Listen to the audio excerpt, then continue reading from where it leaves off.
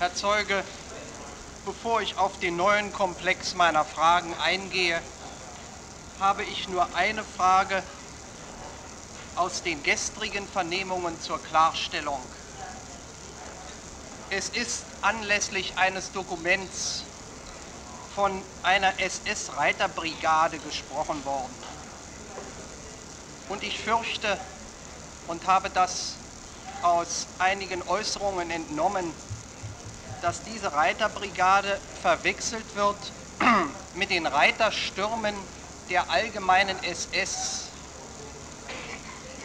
Ich verweise das Hohe Gericht auf die Aussage des Zeugen von Wojkowski-Biedau vor der Kommission und bitte nur diesen Zeugen zu sagen, was, in welcher Weise unterscheiden sich die Reiterstürme der allgemeinen SS von der Formation, die ich Ihnen eben genannt habe.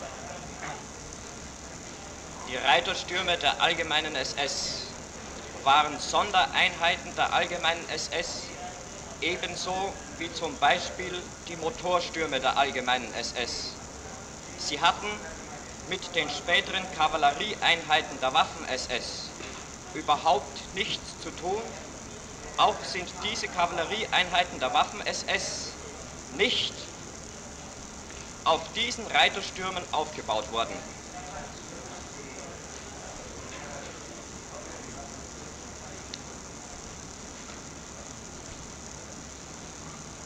Hier in diesem Gerichtssaal ist ein grauenerregender Film über die Gräuel in den KZs abgelaufen. Die Anklage behauptet hierzu, dass diese Zustände die Folge einer konsequenten Politik der SS gewesen seien. Können Sie zu dieser Behauptung als hoher Richter Stellung nehmen? Hat das Gerichtswesen der SS von diesen Vorgängen Kenntnis bekommen? Und wenn ja, hat es dazu geschwiegen? Von einer konsequenten Politik der SS in Hinblick auf die in diesem Film gezeigten Zustände kann keine Rede sein. Es sind in den Konzentrationslagern furchtbare Gräueltaten begangen worden. Der Film aber zeigt die Auswirkung des totalen Zusammenbruchs des Deutschen Reiches auf die Konzentrationslager, stellt also nicht deren Normalzustand dar. Dieser war ganz anders.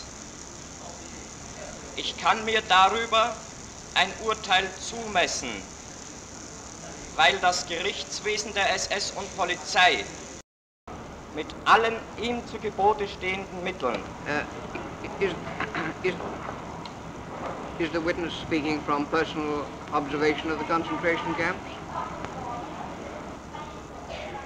Jawohl, Herr äh, Präsident, er ist gerade dabei, das zu erläutern. Hm. Ich kann mir hierüber deshalb ein Urteil erlauben, weil das Gerichtswesen der SS und Polizei mit allem ihm zu Gebote stehenden Mitteln und teilweise unter Überschreitung der eigenen Zuständigkeit gegen diese Gräuel gerichtlich eingeschritten ist. Wir haben in den Konzentrationslagern Untersuchungskommissionen gehabt, die mir wiederholt über die Zustände in diesen Lagern Bericht erstatteten. Wenn das Gerichtswesen der SS und Polizei in der Lage gewesen ist, gegen solche Zustände einzuschreiten, so nur deshalb, weil es sich hier eben nicht um eine konsequente Politik der SS handelt, sondern um verbrecherische Taten einzelner Personen und kleiner Gruppen und einzelner höchstgestellter Vorgesetzter, nicht aber um die Taten der SS als Organisation. Um gegen diese Verbrechen anzukämpfen, Und um die SS von diesen verbrecherischen Elementen zu reinigen, ist das Gerichtswesen tätig geworden.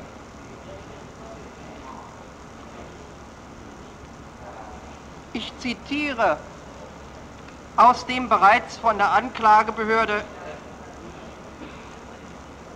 ich zitiere aus dem bereits von der Anklagebehörde überreichten Dokument der Anklage E 168. Es handelt sich um einen Brief des SS-Wirtschaftsverwaltungshauptamts, Amtsgruppe Konzentrationslager, Aktenzeichen D so und so. Ich zitiere, es handelt sich um eine Anweisung an die ersten Lagerärzte der Konzentrationslager. What is this document? What is the document? Es handelt sich um ein von der Anklagebehörde bereits überreichtes Dokument E 168, das sich auch findet in dem amtlichen Dokumentenbuch Konzentrationslager. I, I, I, I can't hear what the reference is. Is it D Don 168 E wie, e wie Emil 168. EC.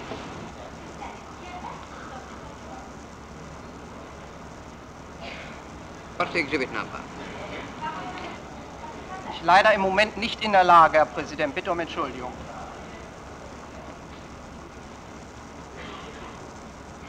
Darin heißt es unter anderem, mit einer derartig hohen Todesziffer kann niemals die Zahl der Häftlinge auf die Höhe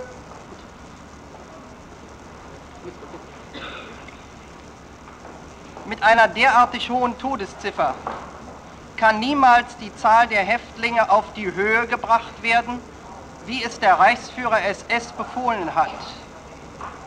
Die ersten Lagerärzte haben sich mit allen ihnen zur Verfügung stehenden Mitteln dafür einzusetzen, dass die Sterblichkeitsziffer in den einzelnen Lagern wesentlich herabgehen. Nicht derjenige ist der beste Arzt in einem Konzentrationslager, der glaubt, dass er durch unangebrachte Härte auffallen muss, sondern derjenige, der die Arbeitsfähigkeit durch Überwachung und Austausch an den einzelnen Arbeitsstellen möglichst hoch hält. Die Lagerärzte müssen öfter als bisher das Essen der Gefangenen Verbesserungsvorschläge standen diese dürfen natürlich nicht nur auf dem Papier erscheinen, sondern müssen regelmäßig durch die Lagerärzte überprüft werden. Außerdem sollen die Lagerärzte dafür sorgen, dass die Arbeitsbedingungen an den verschiedenen Arbeitsplätzen so sehr als möglich verbessert werden. Deshalb ist es notwendig, dass die Ärzte die Arbeitsplätze gründlich besichtigen und sich von den Arbeitsbedingungen überzeugen. Der Reichsführer SS hat befohlen, dass die Sterblichkeit unbedingt geringer werden muss.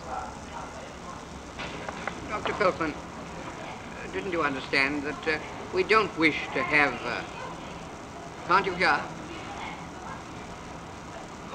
the tribunal has indicated to the prosecution they, doesn't, they don't want to have uh, these documents read, which have already been put in evidence.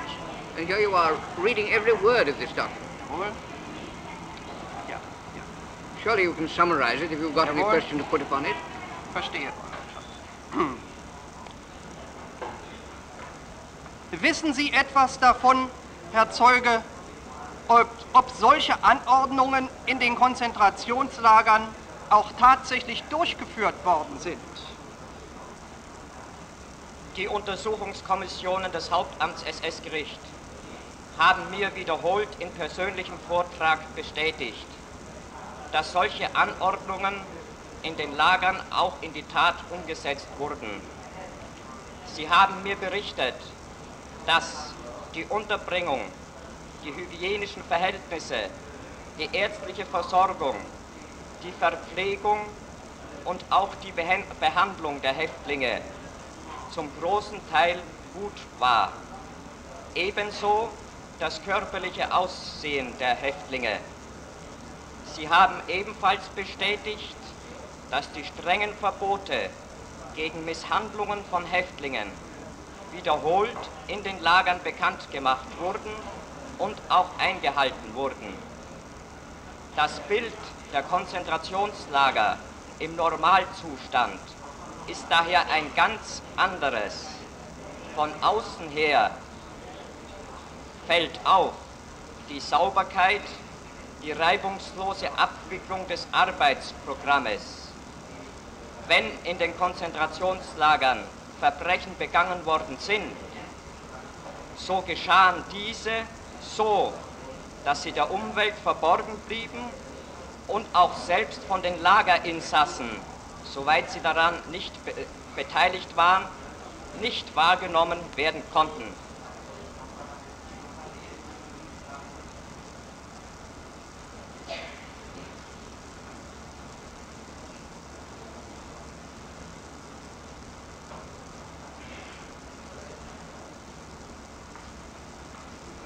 Are, are you saying that you personally received this letter? Or that you had these facts before you? This is from his office. Ich habe von diesen Untersuchungskommissionen Berichte bekommen, die mir persönlich vorgelegt worden sind. Aus diesen Berichten war das zu entnehmen, was ich gerade gesagt habe. Well, then you knew in December 1942 that 70,000 uh, arrivals in a concentration camp out of 136,000 had died, did you? Nein, das ist mir nicht bekannt gewesen.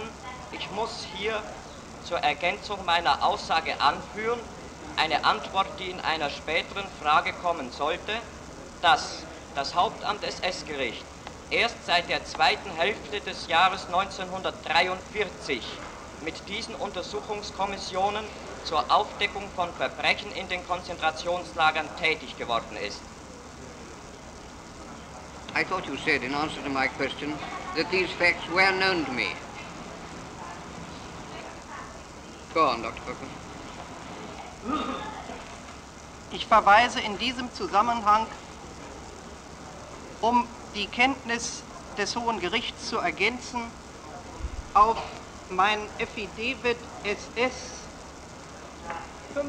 65 bis 67, das im vollen Wortlaut meinem Antrage gemäß übersetzt worden ist.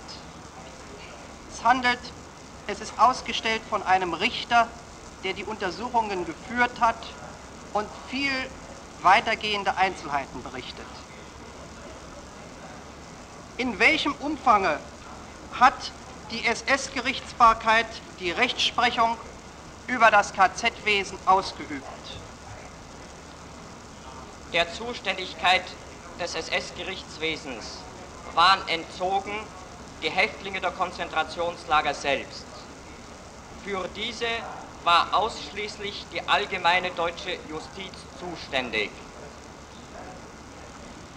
In gewissem Umfang oblag die Rechtsprechung der SS-Gerichtsbarkeit auch bezüglich der in den Konzentrationslager befindlichen politischen Abteilungen mit der Maßgabe, dass die Untersuchungsführung des Reichssicherheitshauptamtes hier den Vortritt hatte. Die Wachmannschaften und die Kommandanturangehörigen der Konzentrationslager unterlagen der Rechtsprechung des Gerichtswesens in vollem militärgerichtlich bestimmtem Umfang. Sie sagten schon, Herr Zeuge, dass die Verfolgung von KZ-Verbrechen durch Ihre Gerichtsbarkeit 1943 einsetzt. Wann 1943? In der zweiten Hälfte des Jahres 1943 kam das Gerichtswesen anlässlich eines Korruptionsfalles gegen den seinerzeitigen Lagerkommandanten Koch auf Spuren von Verbrechen, die in andere Lager führten. Von diesem Zeitpunkt an wird das Gerichtswesen tätig. Wie kommt es, dass das Gerichtswesen erst so spät tätig geworden ist? In den Konzentrationslagern befanden sich sogenannte Gerichtsoffiziere als Überwachungsorgane. Diese Gerichtsoffiziere, die Instrumente des jeweiligen Gerichtsherrn waren, hatten die Aufgabe, bei irgendwelchen vorgekommenen Verbrechen sogenannte Tatberichte anzufertigen und diese Tatberichte den Gerichten zwecks Verfolgung der strafbaren Handlungen zu übergeben. Eine Zwischenfrage, Herr Zeuge. Dr. Kirkman, that didn't seem to me to be an answer to your question at all. Your question was, how was it that it was so late as the second half of 1943 that um, these investigating uh, commissions began to become active? He hasn't told us any answer to that question at all. Euer Lordschaft, der Zeuge ist noch nicht zu Ende. Ich habe nur eine Zwischenfrage. Es wird sofort aus, dem, aus der weiteren Antwort des Zeugen klar werden. Ich habe nur eine, ich habe nur eine Zwischenfrage, Herr Zeuge. Dieser Gerichtsoffizier unter, unterstand er Ihnen, dem Hauptamt SS-Gericht oder der sogenannten SS-Gerichtsbarkeit? Oder wem unterstand er? Nennen Sie Namen. Der Gerichtsoffizier unterstand nicht der Organisation des Gerichtswesens, sondern war ein Funktionär des Gerichtsherrn, in dessen Hand die Untersuchungsführung sich befand. Also bei den KZs Bei den Konzentrationslagern in der Hand des gestern schon genannten Oswald Pohl. Und nun fahren Sie bitte fort mit der Beantwortung der Frage, wie kam es, dass das Gerichtswesen so spät von diesen Gräueltaten Es kam, Kenntnis erhielt. es kam daher, es kam daher, dass das Gerichtswesen früher keinen Verdacht geschöpft hatte. Und dies begründete sich wieder darin, dass diese Gerichtsoffiziere während der Jahre bis 1943 fortlaufend solche Tatberichte bei den Gerichten eingereicht hatten. Diese Tatberichte waren sehr exakt ausgearbeitet. Es befanden sich bei unnatürlichen Todesfällen von Häftlingen darin Lichtbilder des Tatortes, des Toten, ärztliche Untersuchungsergebnisse, Zeugenaussagen von Häftlingen und Wachmannschaften. Diese Arbeit war so exakt, dass nicht der Verdacht entstehen konnte, dass hier auch hinter dem Rücken der Gerichtsoffiziere Verbrechen begangen sein könnten.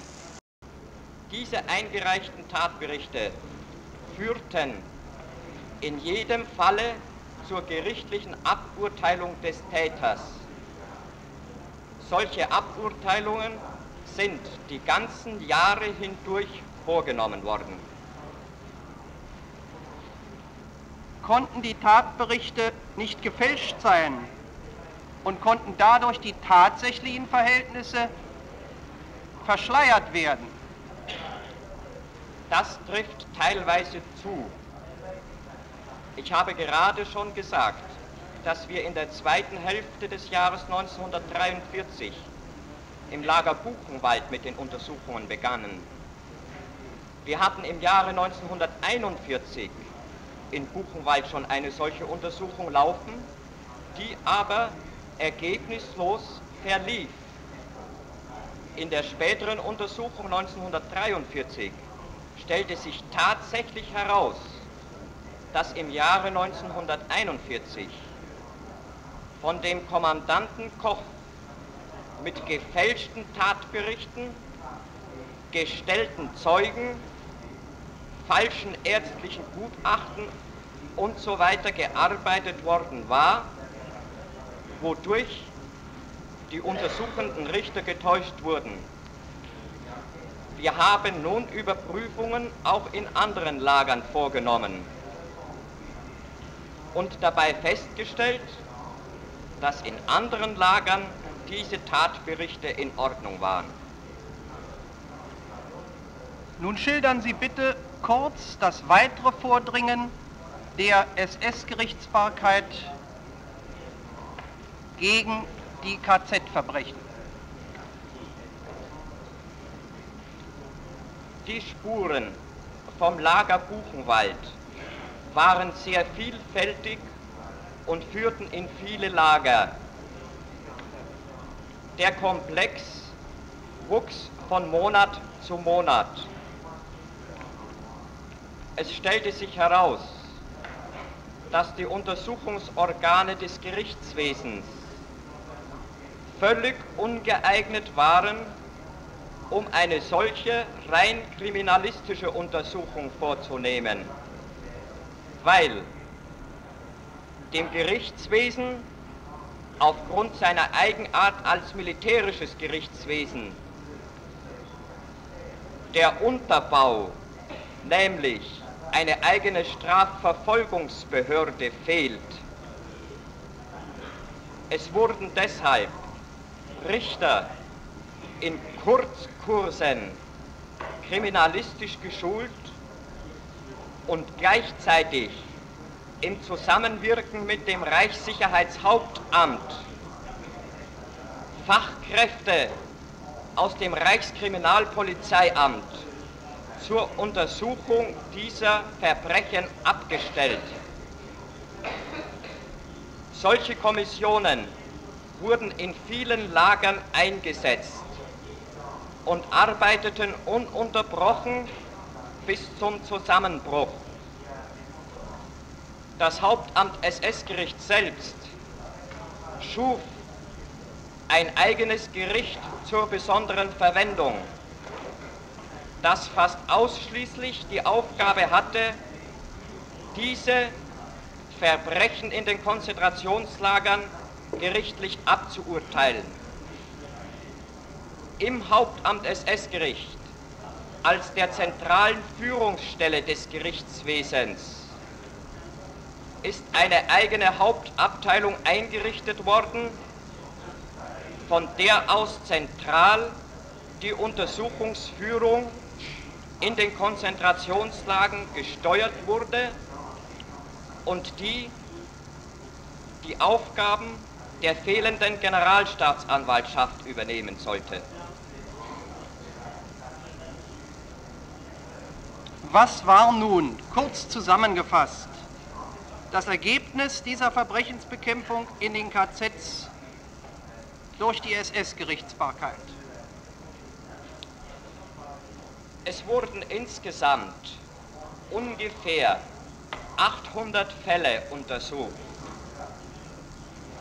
Von diesen 800 Fällen wurden 400 bei den Gerichten anhängig. Von diesen 400 Fällen sind 200 durch gerichtliches Urteil zum Abschluss gekommen. Unter den untersuchten Fällen befanden sich Verfahren gegen fünf Konzentrationslagerkommandanten. Das Verfahren gegen zwei Kommandanten konnte zum Abschluss gebracht werden und endete mit Tod durch Erschießen.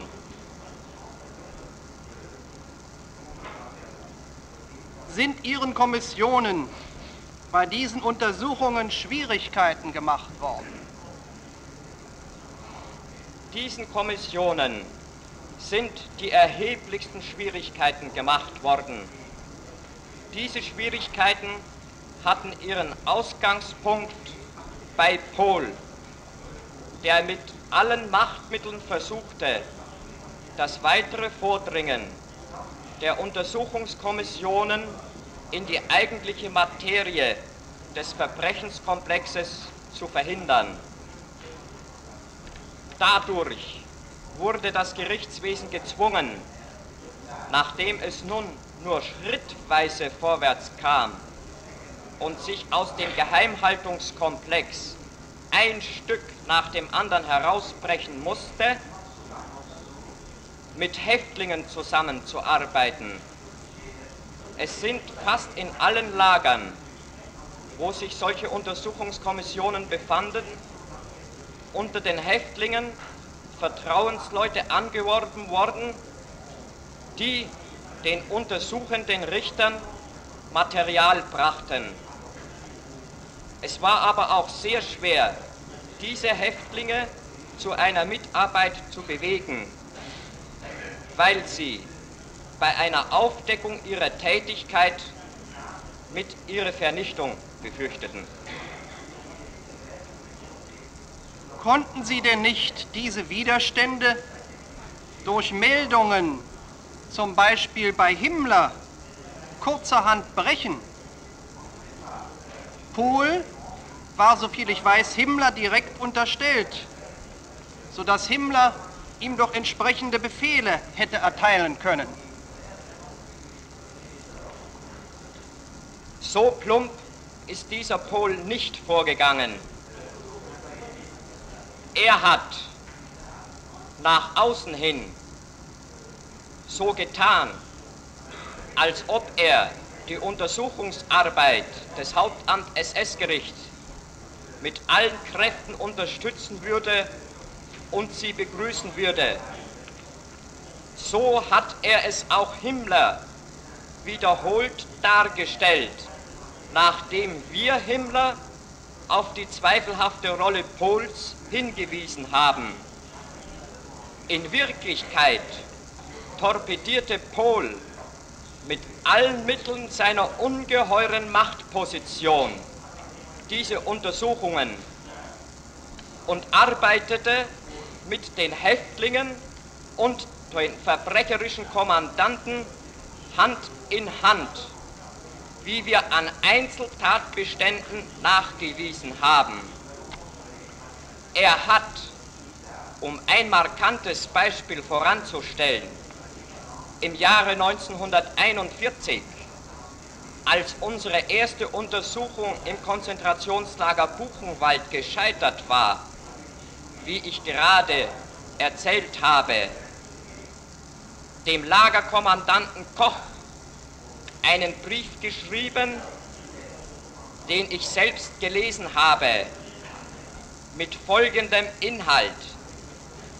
Ich werde mich mit der ganzen Machtfülle meiner Position vor Sie stellen, wenn wieder einmal ein arbeitsloser Jurist seine gierigen Henkershände nach ihrem unschuldigen weißen Leib ausstrecken sollte.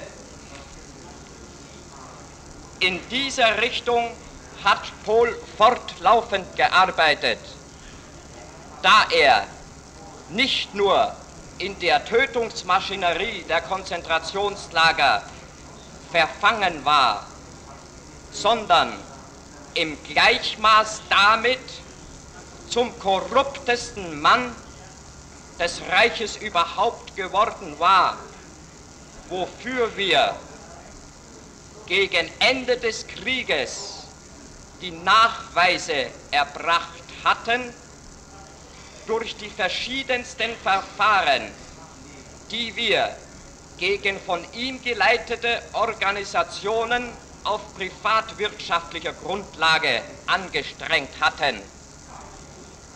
Er hat als Haupt dieser verbrecherischen Clique es fertiggebracht, zu versuchen, das System der Vertrauensleute der Häftlinge zu erschüttern, von dem er wusste, dass es seiner eigenen Person gefährlich werden könnte.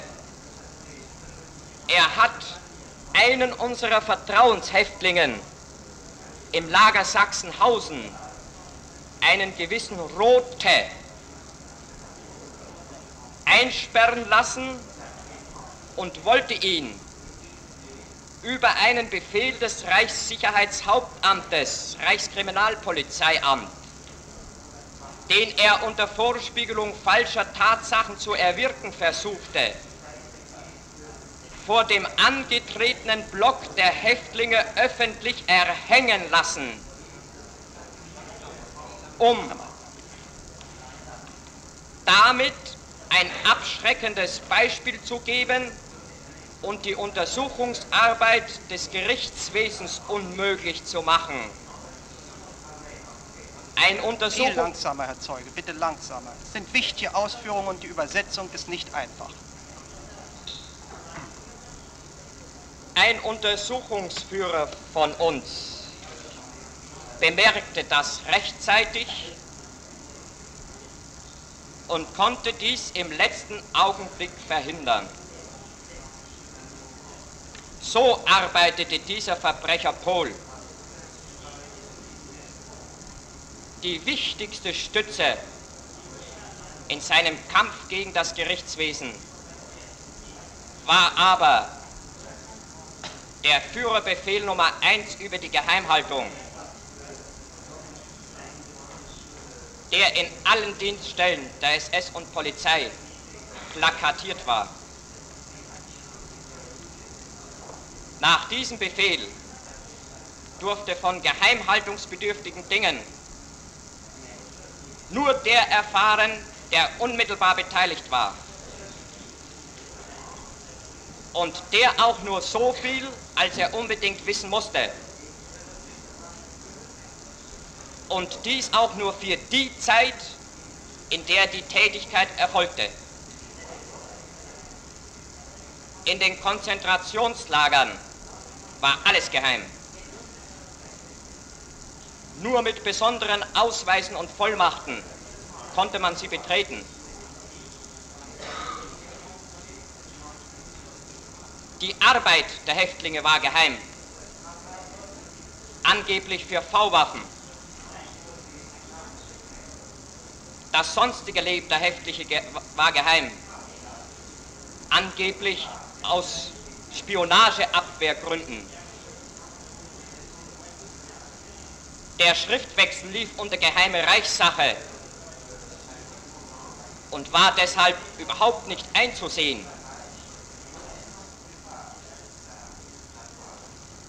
Hinter diesen, dieser dichten Geheimhaltungssphäre konnte sich Pohl jahrelang geschickt zurückziehen und er gab dem vordringenden Gerichtswesen stets nur dann ein kleines Stück nach dem anderen Preis, wenn er aufgrund von Einzeltatbeständen systematisch in die Enge getrieben war. Glauben Sie nun, Herr Zeuge, dass Sie mit diesen von Ihnen eben geschilderten Ergebnissen an den tatsächlich vorhandenen Verbrechensumfang herangekommen sind, wie wir ihn hier durch die Hauptverhandlung erfahren haben. So wie ich ihn heute weiß, nein. Das hat seinen Grund darin, dass das Gerichtswesen, der SS und Polizei alle diese Verbrechen als Einzelverbrechen bekämpfte und das System der Verbrecherischkeit, wie es heute erkennbar ist, lange Jahre nicht durchschauen konnte. Als es dem Gerichtswesen gegen Ende des Jahres 1944 gelungen war, aufgrund solcher Einzeltatbestände den Verbrecher Pohl und auch Grawitz und den manche Verbrechen abdeckenden Müller aus der Gestapo in die Enge zu treiben. Da beriefen sie sich das erste Mal auf Befehle von oben. Diese nun ansetzenden Ermittlungen des Gerichtswesens sind im Zusammenbruch der deutschen Kriegsführung mit untergegangen.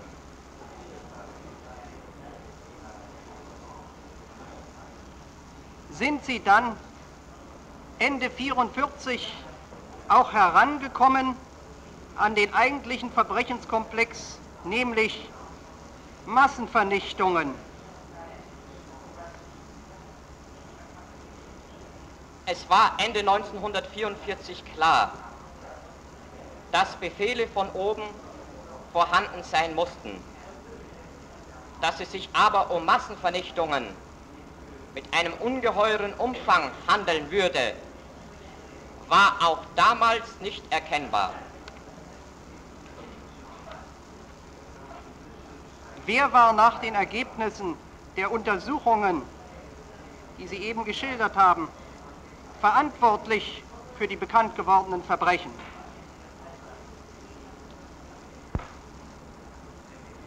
An höchsten Vorgesetzten. Kohl,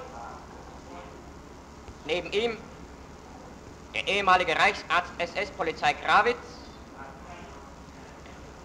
und neben ihm der Chef der Gestapo Müller. Darüber hinaus die Konzentrationslagerkommandanten, Angehörige der Kommandanturen, Konzentrationslagerärzte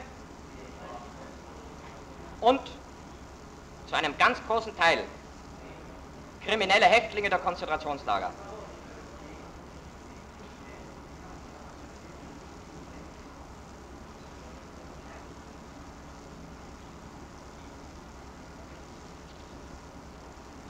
Ist es richtig, demnach zu sagen, dass alle Angehörigen dieser Personenkreise, die Sie eben genannt haben, an den Verbrechen ohne Unterschied beteiligt sind?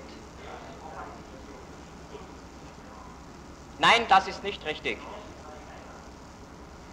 Unsere Untersuchungen haben den klaren Nachweis ergeben,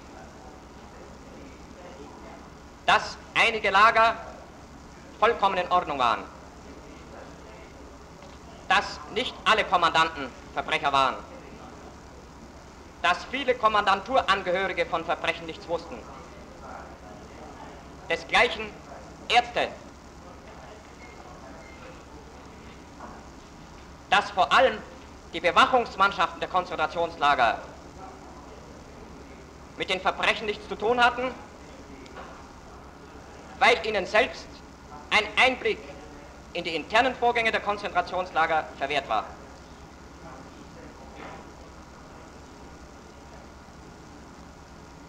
Sie haben vorhin den Fall des KZ-Kommandanten von Buchenwald namens Koch erwähnt. Von diesem ist hier schon im Gerichtssaal gesprochen worden. Die Anklage hat seinerzeit behauptet und sich auf die Vernehmung eines Häftlings Blaha gestützt. Koch sei wegen Unterschlagung und auch wegen Mordes an drei missliebigen Personen verurteilt worden. Die Anklage hat es so dargestellt, als wenn das SS-Gericht damals an den vielen anderen Tötungsfällen einfach vorbeigegangen wäre.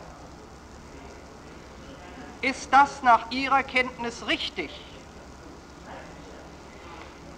Nein, das ist unrichtig. Der Ausgangspunkt des Verfahrens gegen Koch war Korruption weshalb er auch zum Tode verurteilt worden ist.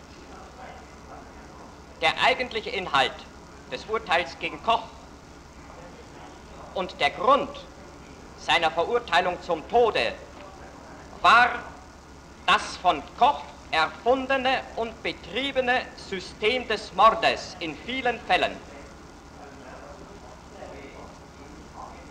Diese Art der Urteilsfindung musste deshalb gewählt werden, weil so viele Verbrechen von Koch vorlagen. In längst vergangener Zeit, wo die Spuren verwischt waren, dass es lange Monate und Jahre gedauert hätte, diese Einzelfälle aufzuklären, wenn dies überhaupt gelungen wäre. Man nahm deshalb aus, dem, aus der Erkenntnis der kürzesten Beweismöglichkeit heraus, um dem Koch das Handwerk schnell zu legen, diese drei Fälle heraus als typisch, verurteilte ihn aber wegen des Systems des Mordes im Konzentrationslager Buchenwald.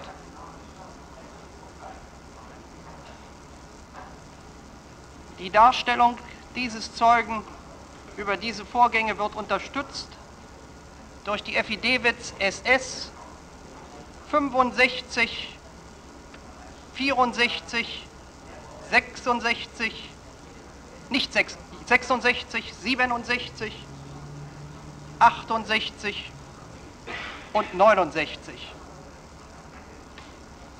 Ich bitte 68, ich bitte 68 zu streichen, es war ein Irrtum nicht 68. 64, 65 bis 67 und 69. Diese Affidavits sind ausgestellt von den Untersuchungsrichtern. Der Untersuchungsrichter Dr. Morgan hätte eigentlich hier als Zeuge erscheinen müssen. Er ist leider erst Anfang Juli, als die Kommissionsvernehmungen kurz vor dem Abschluss standen, eingetroffen. Ich habe ihn nicht rechtzeitig vorbereiten können für die Vernehmung. Ich habe aber ein Affidavit überreicht und das Hohe Gericht wird ja beurteilen können, ob es eventuell nötig ist, diesen noch als Zeugen zu hören, da es hier um die wichtigsten Dinge geht.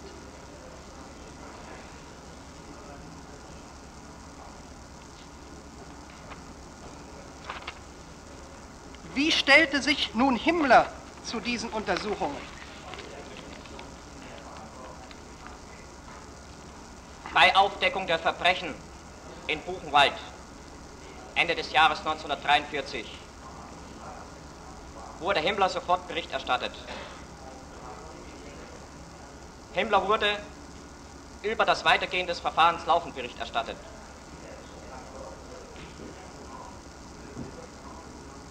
Himmler legte eine sehr große Aktivität an den Tag. Er selbst befahl die strikte Durchführung der Untersuchungen. Nur mit seinen Vollmachten war es möglich, überhaupt die Tore der Konzentrationslager zu überschreiten. Mitte des Jahres 1944 kommt plötzlich ein entgegengesetzter Befehl Himmlers. Er befiehlt als Gerichtsherr, mit dem Verfahren Koch haben alle gerichtlichen Untersuchungen in, in den Konzentrationslagern aufzuhören.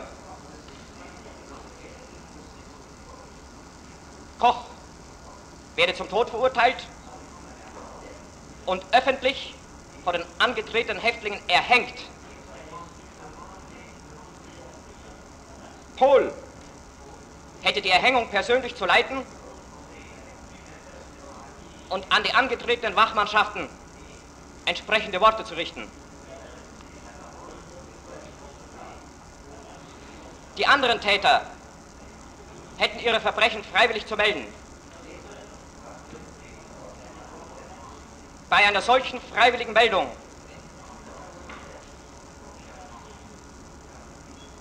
würde er ihnen eine eventuelle Begnadigung zusichern.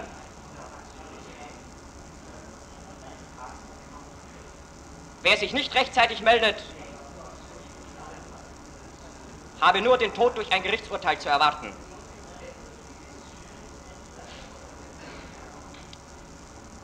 Gegen diesen Befehl Himmlers erhob der Chef des Hauptamts SS-Gericht Widerspruch. Er erlangte keine endgültige Entscheidung Himmlers. Himmler duldete aber in Zukunft die weiteren Verfahren. Das Hauptamt des SS-Gerichts brachte den Fall Koch absichtlich zu dieser Zeit noch nicht zum Abschluss, um die Möglichkeit zu haben, die weitere Ausdehnung der Ermittlungstätigkeit auf andere Lager vornehmen zu können. Was auch gelang. Die aufgrund der Anweisung Himmlers schon zurückgezogenen Untersuchungskommissionen des Reichskriminalpolizeiamtes traten wieder in Tätigkeit. Und es wurde von Herbst 1944 auf breiter Grundlage weiter untersucht. Vollmachten, die hierzu gegen den dauernden Widerstand von Polen notwendig waren, erteilte der persönliche Richter des Reichsführers. An diesen konnte auch Polen nicht vorbeigehen.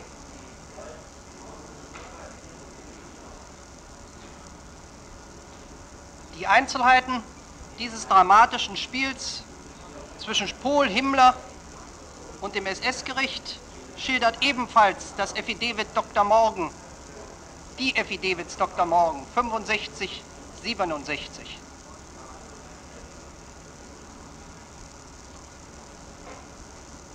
Sind Ihnen, Herr Zeuge, im Laufe dieser Untersuchungen Maßnahmen oder Befehle Hitlers oder Himmlers zur biologischen Ausrottung des Judentums bekannt geworden? Nein. Wir haben weder solche Befehle jemals gesehen,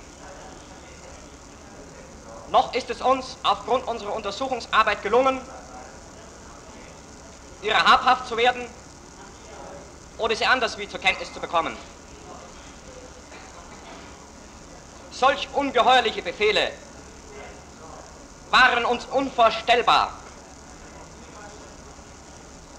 Uns gegenüber hatte Himmler stets nur sein ideales Gesicht gezeigt. Sauberkeit, Anständigkeit, Verbrechensbekämpfung um jeden Preis.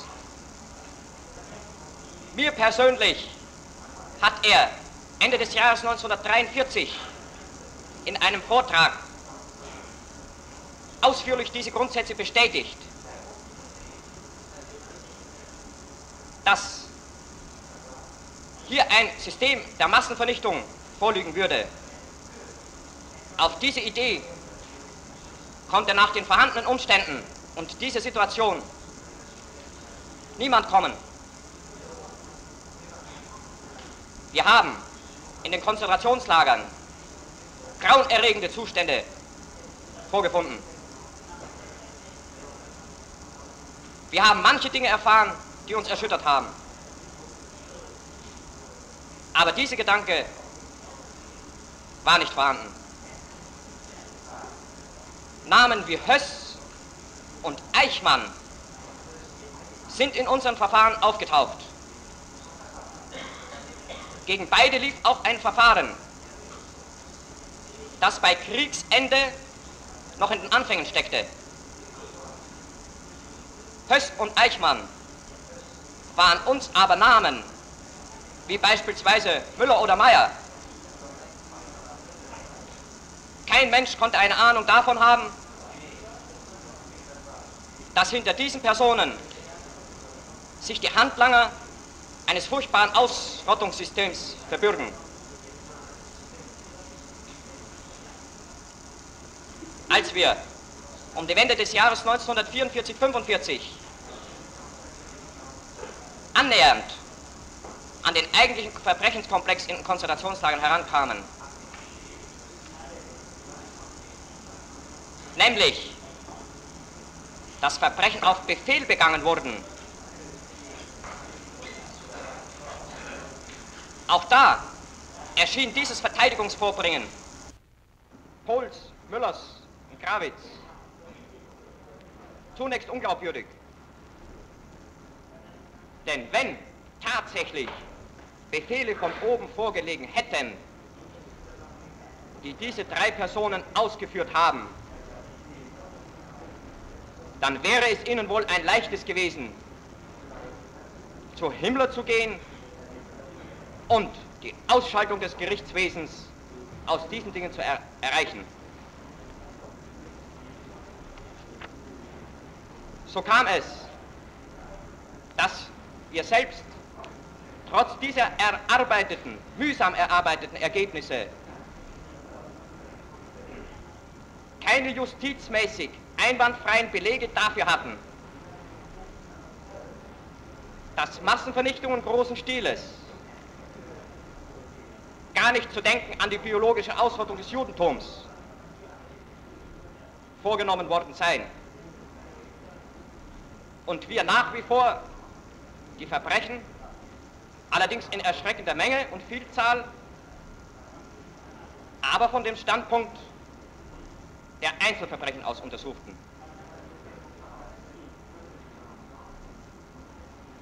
Es gibt eine Broschüre, eine Schrift herausgegeben von der amerikanischen CIC-Zentrale. Verfasser ist ein Oberst Quinn, Q-U-I-N-N. Sie heißt SS Dachau.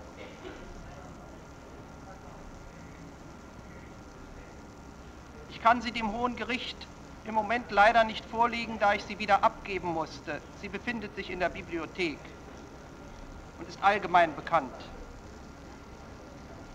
In ihr ist eine Aussage eines Häftlings anonym gekennzeichnet. I don't think he ought to testify the contents of the document. You could have taken a copy of the document. You can't testify to, or tell us what the contents of the documents are unless you produce it. The fact that it's had to go back Ja. to a library is not, no Ich will, objection to your taking a copy Darf of it. darf ich versuchen, Sie nach der Pause zu bringen, Herr Präsident? Yes, if you would like to. In dieser befindet sich der Abdruck einer Aussage eines Ano Well, we don't want, we don't want to know what it contains. We don't accept from you what it contains.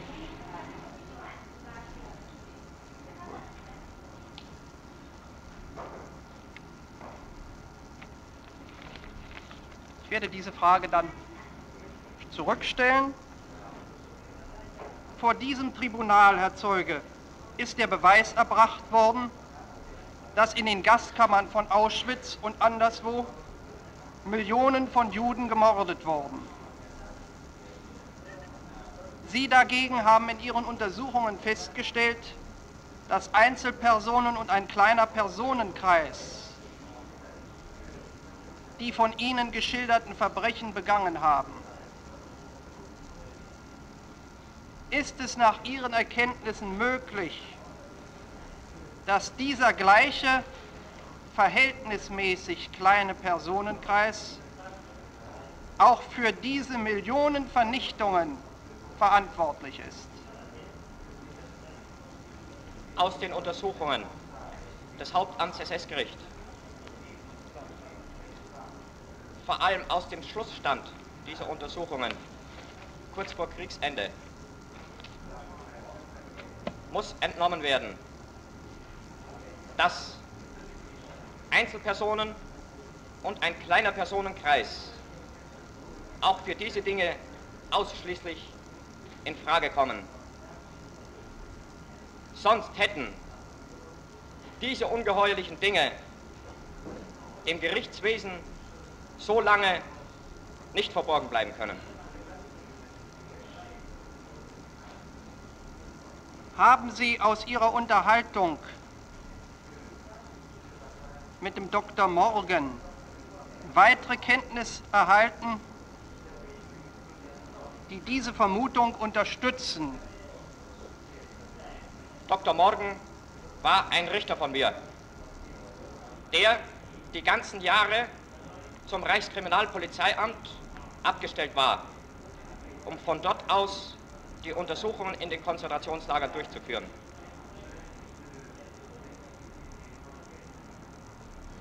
Dr. Morgan hat ein umfassendes Wissen. Er hat, wie ich heute weiß, mit den Organen der Vernichtung, dieser Massenvernichtung, selbst gesprochen und hat einen tiefen Einblick in alle diese Dinge. Er beweist Tatsachen, dass der Ursprung der Judenvernichtung nicht in der SS zu suchen ist, sondern in der Kanzlei des Führers. Dr. Bergman, I understood from you that put, you were putting in two affidavits from Dr. Morgan. Is that right? Drei sogar, Herr Präsident. Well, three. Five, if you like. But this witness can't tell us what Dr. Morgan says. Dr. Morgan must speak for himself through his affidavits. Ich werde mir dann erlauben, das beim Vortrag der Affidavits noch auszuführen.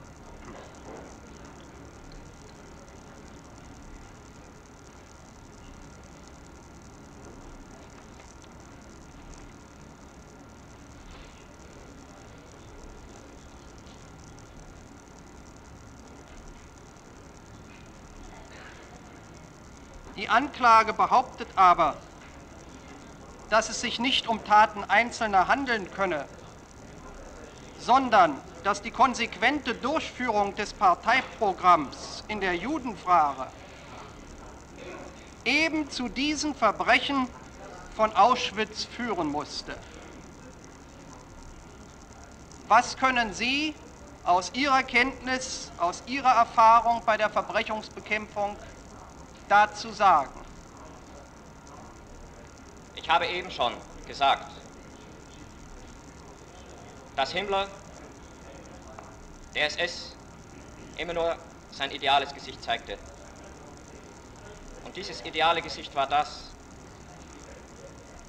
was der SS-Angehörige als Ausfluss des Parteiprogramms sah. Der Befehl Hitlers zur biologischen Ausrottung des Judentums, wie ich ihn heute kenne, ist ein glatter... Dr. Bergman, he said that over and over again about uh, Himmler showing his ideal face to the SS. He said it before, you know. Isn't the Ja, sort of thing we want to hear more than once? Darf ich ihn fragen, Herr Präsident, wie er Stellung nimmt zu der Behauptung der Anklage, dass diese Dinge, nämlich die Vernichtung der Juden in Auschwitz, für die Masse der SS unmittelbarer Ausfluss sind der Grundsätze, die die SS gelernt hat. How can he give evidence about that? He can tell us what he saw and what he did. He hasn't told us yet whether he's ever been in a concentration camp.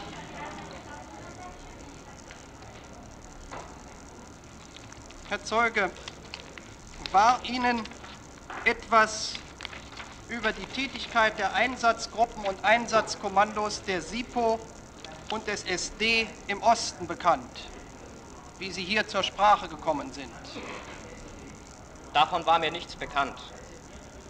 Ich wusste, dass sich die Sicherheitspolizei im Operationsgebiet des Ostraumes befand und dort Sicherungsaufgaben durchführte. Das erschien mir als die Aufgabe der Sicherheitspolizei in diesem Einsatz. Andere Befehle sind dem Gerichtswesen nie bekannt geworden. Wir haben diese Dinge hier zuerst gehört.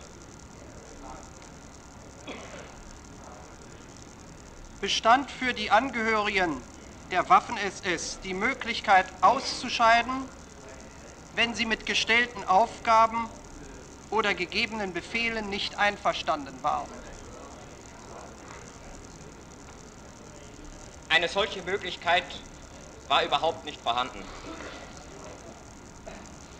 Der Dienst in der Waffen-SS war Wehrdienst, gesetzlich anerkannt und gesetzlich geregelt. Auch bei den Angehörigen der Waffen-SS, die freiwillig eingetreten waren, hatte sich diese Freiwilligkeit durch das Wehrdienstverhältnis zu einem unabdingbaren Zwangsverhältnis verwandelt.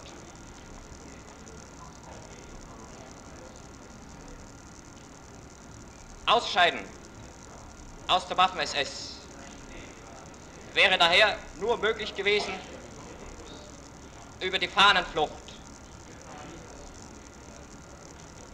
Wobei der Fahnenflüchtiger alle, Gesetz, alle Folgen des Gesetzes auf sich zu nehmen hat. Die Anklage behauptet, dass die verbrecherische Tätigkeit der SS so weitgehend war und sich auf so viele Fälle von Ungesetzlichkeiten bezog, dass ihre Ungesetzlichkeit nicht verborgen bleiben konnte vor den Mitgliedern der SS. Ist das die richtig? die SS war keine Einheit. Ich habe die verschiedenen Organisationen der SS bereits beschrieben. In die einzelnen Organisationen hatte der SS-Angehörige keinen Einblick. Er sah seine allgemeine SS und seine Waffen-SS, in der solche Verbrechen nicht begangen wurden. Er konnte daher nie des Glaubens sein, dass er einer verbrecherischen Organisation angehören würde. Und er konnte von den die festgestellten Verbrechen tatsächlich keine Ahnung haben.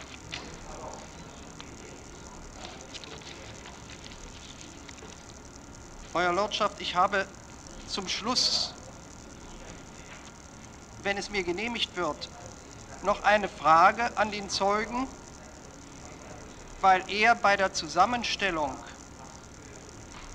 von Effidewitz beschäftigt war, mit einem bestimmten Arbeitsstabe. Und wenn das Hohe Gericht Wert darauf legt, festzustellen, wie die Sammlung dieser Affidavits und die Auswertung zustande gekommen ist, dann kann dieser Zeuge darüber Auskunft geben. Ich frage. Yes, well, you may ask him.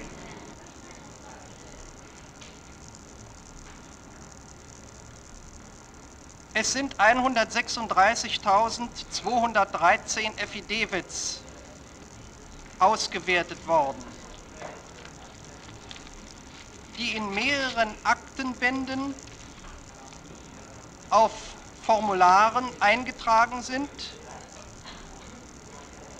Und dazu ist eine Übersicht der verschiedenen Sachgebiete sowie eine zahlenmäßige Zusammenstellung der Affidavits in den einzelnen Sachgruppen vorgenommen worden. Herr Zeuge, wer hat die Auswertung vorgenommen? Die Auswertung ist unter meiner Leitung vorgenommen worden von 15 zum Richteramt befähigen SS-Internierten. Ausgewertet wurden ca. 170.000 eingereichte Erklärungen. Davon sind 136.213 eidesstattliche Versicherungen und Zeugenschaftsanträge zu einer Dokumentensammlung zusammengestellt worden. Der Rest sind bloße Bitten um Vernehmung und so weiter. Diese 136.000 Erklärungen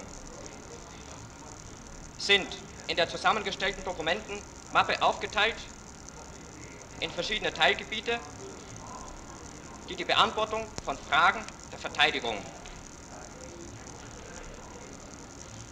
von gegen die SS erhobenen Vorwürfen darstellt. Wo haben Sie diese große Anzahl wo haben Sie diese große Anzahl von Affidavits herbekommen?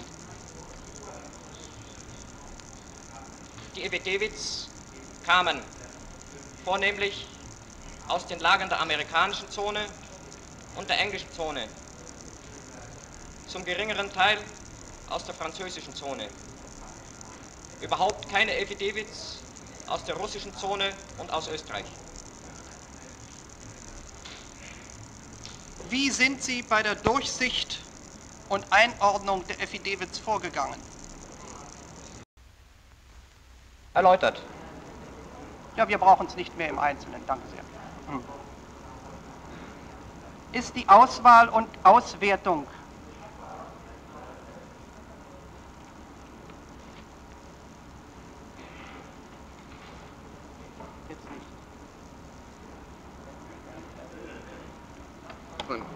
Uh, what I understood the witness to say was that there were 170,000 statements utilized, and somehow, from those 170,000 statements, 136,000 odd affidavits were obtained. Well, how were they obtained?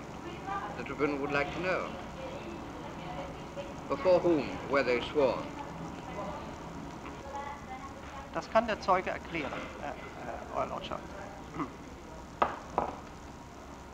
Diese 170.000 Affidavits sind von internierten SS-Angehörigen beschworen. Von dieser Gesamtsumme von 170.000 sind 136.213 von meinen Mitarbeitern tatsächlich verwertet worden. Die übrig bleibenden Affidavits wurden nicht verwertet, weil sie zum Teil unerheblich sind und zum Teil nicht frist- und formgerecht eingereicht waren. You Und mean diese, that the, the whole 170,000 were sworn affidavits?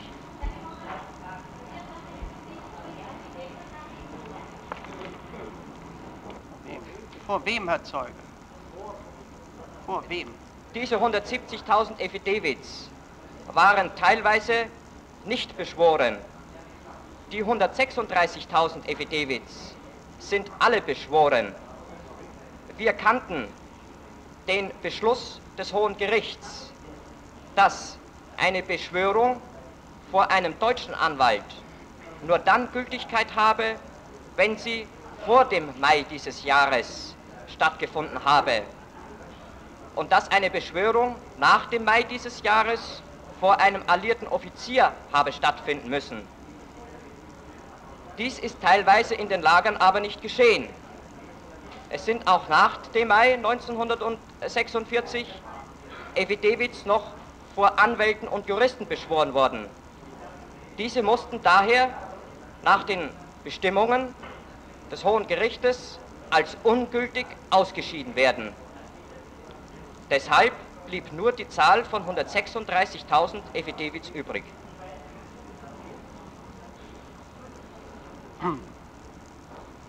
Ist die Auswahl und Auswertung nach dem Gesichtspunkt vorgenommen worden,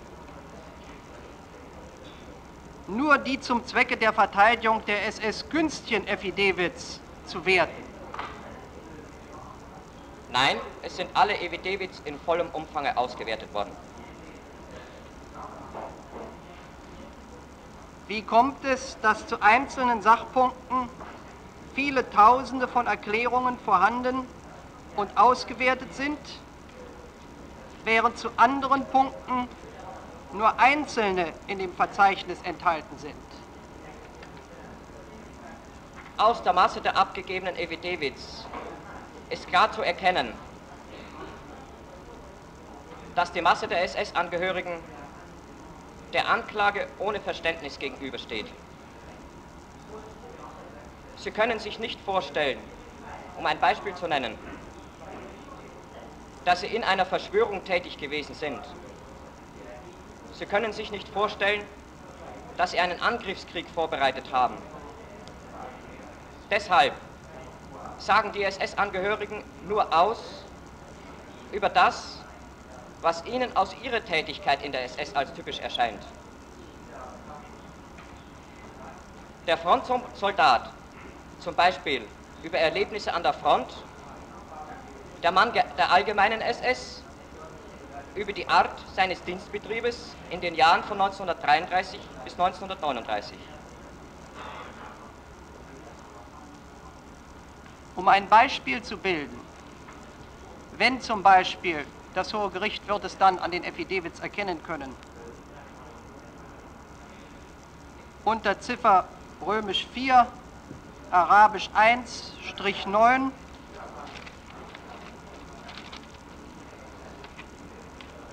nämlich Frage, war die Schikane in den Konzentrationslagern verboten?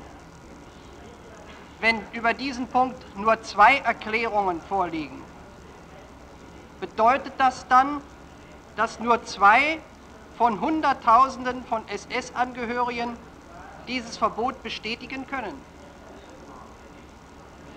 Nein, Und alle anderen, was wichtig wäre, das Gegenteil wissen? nein, das bedeutet es gerade nicht. Die befragten SS-Angehörigen können über diesen Punkt keine Angaben machen, weil sie davon eben überhaupt nichts wissen.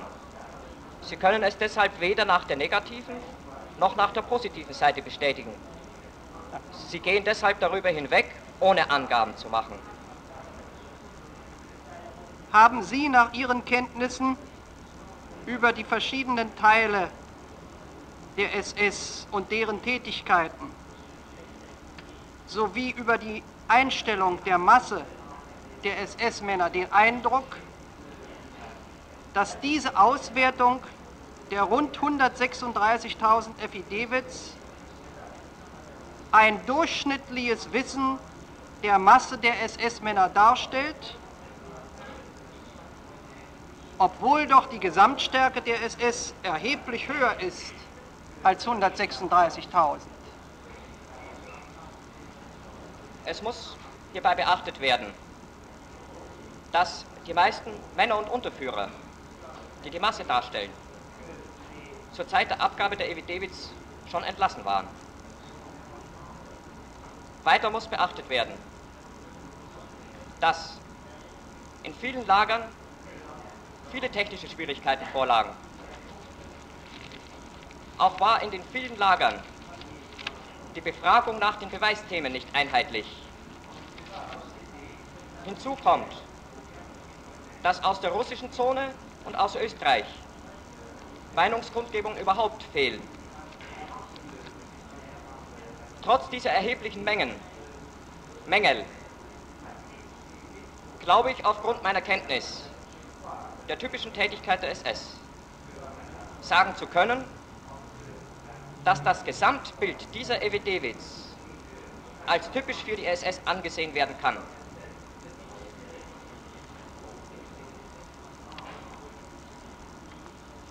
Euer Lordschaft, ich habe an diesen Zeugen keine Fragen mehr. Journal will. Hello recording, hello recording. Take a break, take a break.